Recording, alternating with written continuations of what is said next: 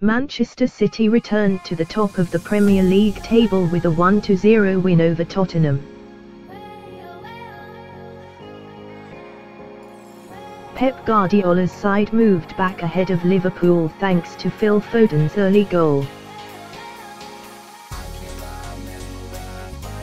Both teams have played 34 games, with Man City now one point ahead of the Reds on 86 points.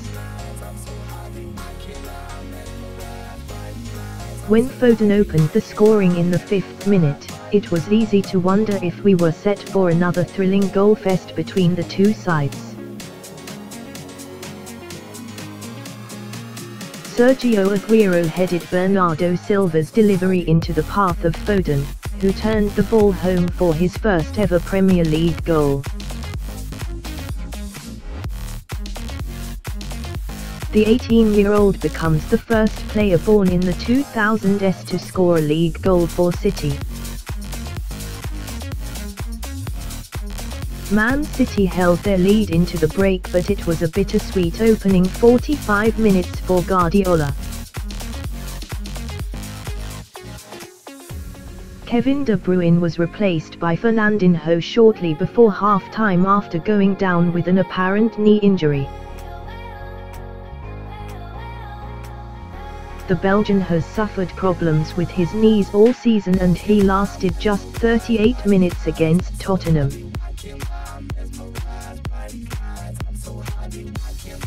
Questions will no doubt be asked of Guardiola's treatment of De Bruyne after he handed him a third start in seven days.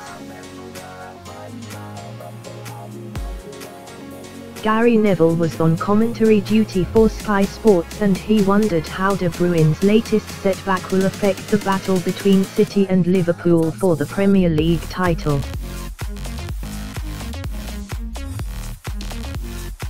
That's what happens when you play Champions League on a Wednesday and a Saturday early kickoff Neville said. With these two teams going for the title you are looking at fine margins. Guardiola confirmed afterwards that De Bruyne is expected to miss the game against Man United on Wednesday.